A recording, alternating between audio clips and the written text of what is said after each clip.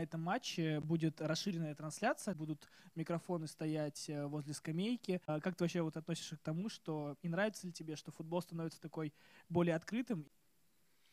Ну, слышал, я слышал про это. Думаю, что нормально, нормально. Сейчас э, видите сами, как развивается медийный футбол, поэтому вы уже и нас на это пытаетесь подсадить.